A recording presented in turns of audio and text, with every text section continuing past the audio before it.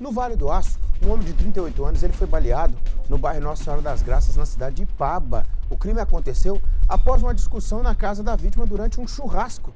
Gente do céu, era festa, Gisele, e terminou desse jeito? Homem de 38 anos contou aos policiais militares que realizavam um churrasco na casa dele quando teria feito uma brincadeira com a pessoa que estava presente. Essa pessoa não teria gostado do comentário e os dois acabaram se desentendendo.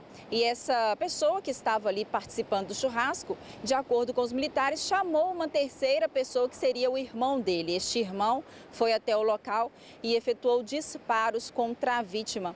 Um dos tiros acertou a região do rosto. A vítima foi levada para um hospital é, daqui de Patinga e, de acordo com a ocorrência da polícia, não corre risco de morte.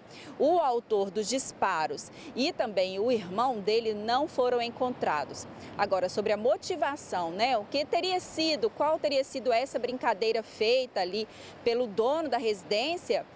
Não foi mencionado no boletim de ocorrência, mas provavelmente será investigado também pela Polícia Civil. Gisele Ferreira para o Balanço Geral. É, tem que ser investigado, né? Tem que ser.